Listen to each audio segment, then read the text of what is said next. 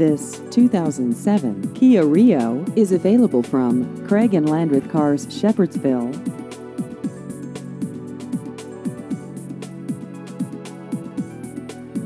This vehicle has just over 111,000 miles.